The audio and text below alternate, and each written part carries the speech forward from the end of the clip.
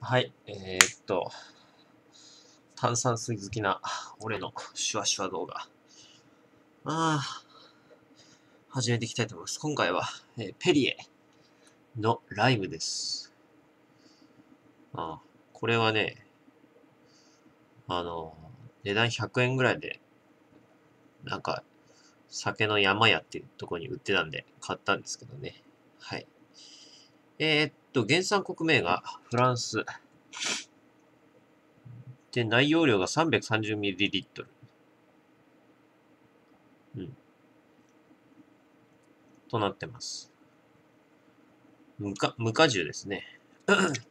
それでは飲んでいきたいと。これね、結構ね、これは、あの、確か2チャンネルだと、ペリエの、ペリエはラライムがうまいというらしいです。乾杯。うん。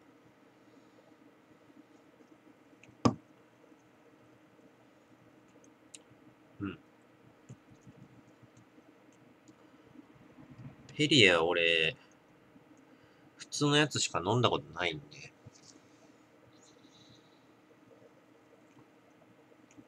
うん。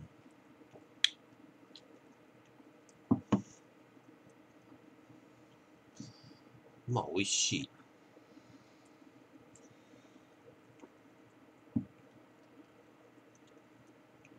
うん。ペリエ、アマゾンで安かった時が、まあ、缶のね、この容量のやつで、安かった時に、あの、ケース買いしたことがあるんですけど、すごい美味しいんですよね。うん。確かどっかの、フランスの山脈のあたりのなんか、やつですね。うん。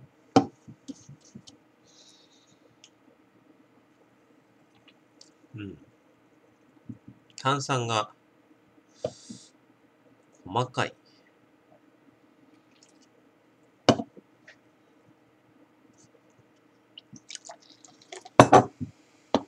炭酸のキメが細かい気がする。多分。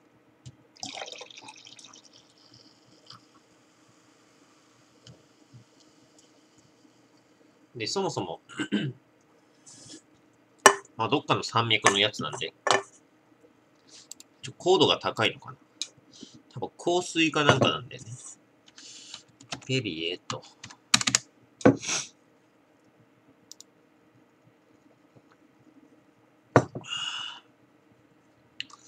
ペリエと。えーサイトに行くと、高度が約 417mg。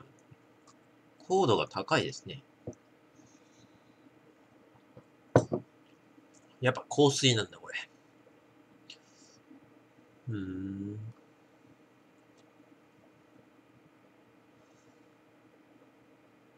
そのままで飲むときは理想的な温度である12度に冷やしたペリエと、ペリエをレモンスライスとともに、えー飲むことをお勧めしますと。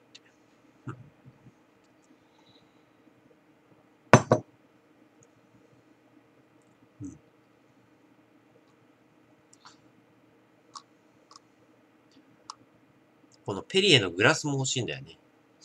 このペリエグラス欲しいんだけど、高いんだよな、これな。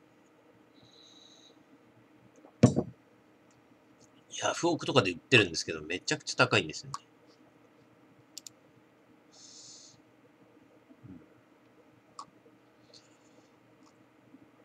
めちゃくちゃ高いんで、正直、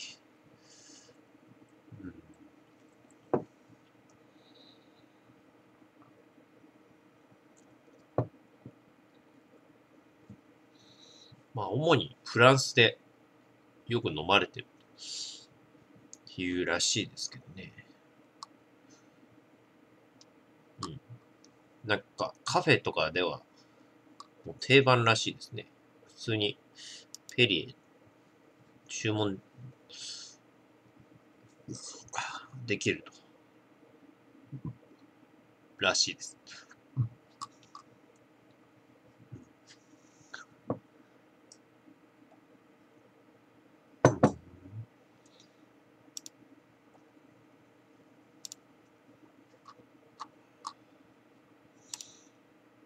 まあ、見た目がね、結構ね、なんかかっこいいっていうのもある。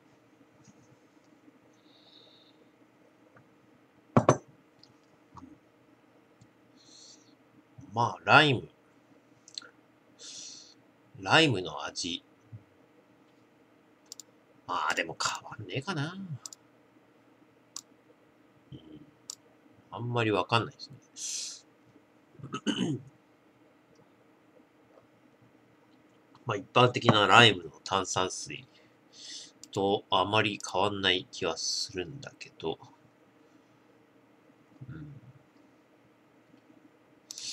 ちなみに Amazon だと、ペリエが、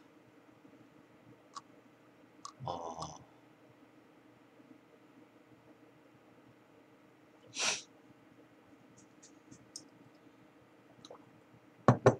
いろいろ売られてるんですけど、750ml のやつとか、瓶のやつですね。とかも売られてるんですが、まあ、まあでもやっぱ買うんだったら瓶のやつ欲しいよね。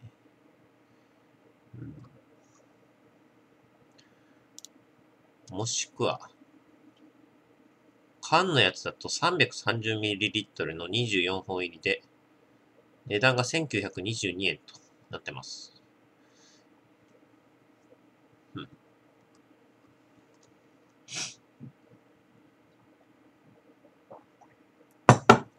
ちょっと高い。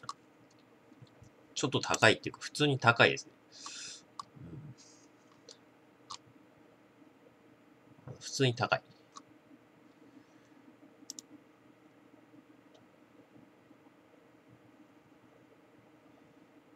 うん。も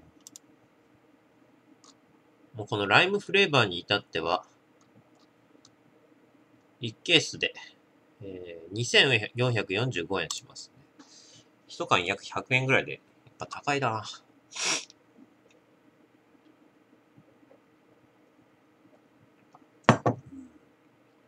高い。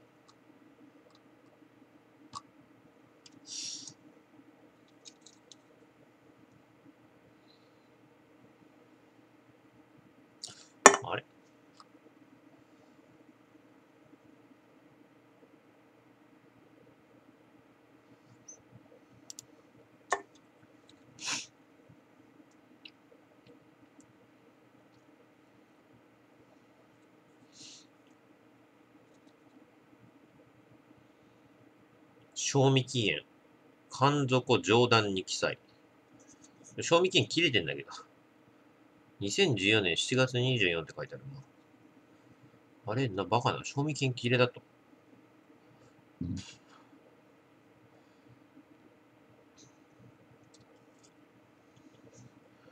嘘。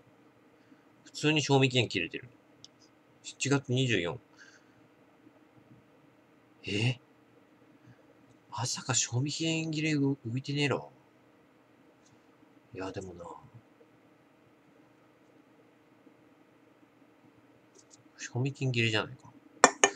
まさか賞味期限切れが売って、売っていただと。まあいいや。はい。ということです。まあ、うまさとしてはまあ普通じゃない？三つ星だな。うん。三つ星。まあ値段的な意味でもちょっと高いんでね、そこまで別におすすめはしないかな。うん。ということで、ご視聴ありがとうございました。